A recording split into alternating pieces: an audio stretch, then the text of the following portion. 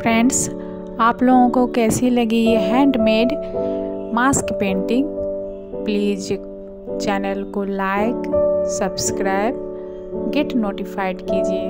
Thank you